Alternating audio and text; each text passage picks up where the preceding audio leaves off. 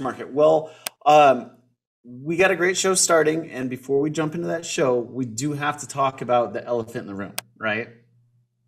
The elephant in the room in the mortgage world, part of real estate, is access to funds and, and what funds are doing, right? So, mortgage rates in the past month and a half since we had our last show um, have jumped up. When we record the show, today is the 5th of April, right? So, um, we're talking by the time this gets out there and, and when people filter through it, they may see it right now, they may see it 10, 10 years down the road, who knows? Um, but long story short, rates have gone up dramatically.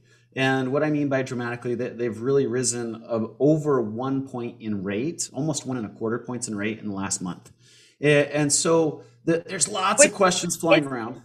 Because yeah, that's a major jump. It maybe major the jump. jump in that amount of period since we've been tracking interest rates. Yeah. So it's it's quite a large deal.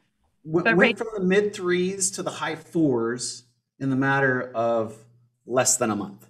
Yeah. Right. And so uh, we're we want to go out there and kind of let you guys know there's a lot of negative press. There's a lot of uh, recession talk. There's a lot of Fed's going to continue to increase interest rates and what that means for home buying, what that means for home ownership, what that means for your mortgage down the road. And and long story short is the, the interest rate environment is like anything else. It ebbs and flows. It comes in and out, uh, just like the tide, right? So right now we've experienced we're coming off the tail end of historic interest rates for the better part of 24 months uninterrupted. We continue down, down, down, down, down to the trough. And now we've spiked back up and we've gotten back to a normalized interest rate level, in my opinion. Um, the the thing going into this next quarter into Q3 of 2022, I know we're just starting Q2 of 2022, but as we get into Q3 and what the Fed is trying to do, they're trying to slow down the economy, right? They're trying to slow down the economy by increasing interest rates. So as we go through a slowing down economy, that brings on big R, brings on the recession. The cool part about this for you guys, I know it doesn't sound cool right now, but recessionary times are good for interest rates and they're actually good for home values.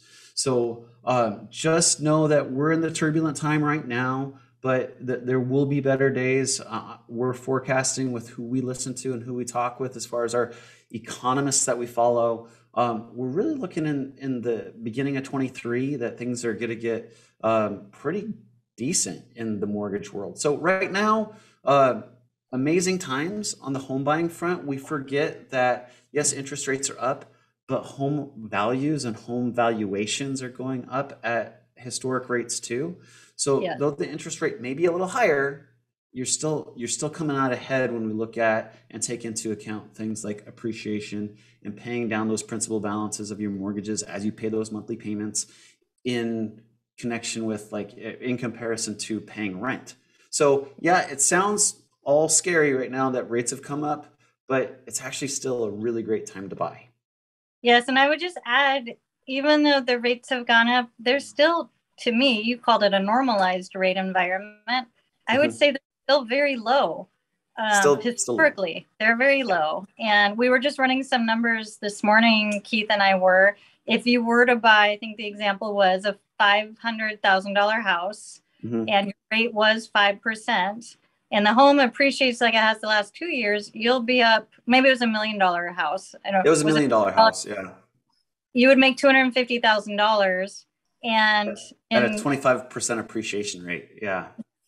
And then we do believe rates will drop again at some point fairly soon, and then you could refi out of it. So don't lose the opportunity. We don't believe you should be losing the opportunity now to build a purchase if things start to slow down a little bit. And slowing down means days on market goes from two weeks to I don't know, two and a half weeks. So it's not much of a slowdown, but take those extra three days and go find that house. Absolutely. And and that is a really interesting point. You know, a stabilized market, guys, is anywhere between three and six months worth of inventory.